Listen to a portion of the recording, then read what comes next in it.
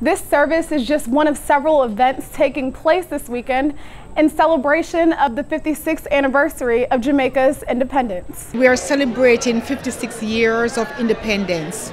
You know, Jamaica, like so many um, colonial, post-colonial countries, every year we mark the significance of becoming an independent, sovereign nation. All the events, we try and put out Jamaican food, Jamaican cuisine.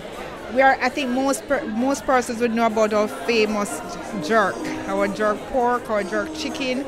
Um, we are well known for that. I'm so pleased that among the various events we are doing, we are doing the first DC Global Reggae Festival.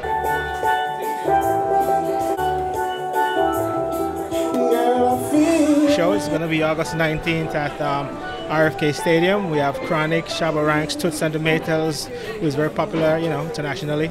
So we encourage everyone to come out and support. We'll have food and vending and craft and a kids zone and lots of stuff for you to enjoy. And for those who want to relax and enjoy a nice afternoon, we have VIP and VVIP. So we cater for everybody. So come on out. I'm encouraging everyone to come out and listen to our music and try our food and enjoy our culture. And then that is just a taste. After that, plan a trip to Jamaica.